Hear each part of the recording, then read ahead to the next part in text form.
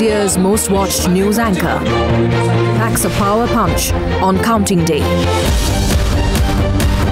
The most amazing thing in this election for me has been your involvement, the tremendous manner in which you have participated in our debates.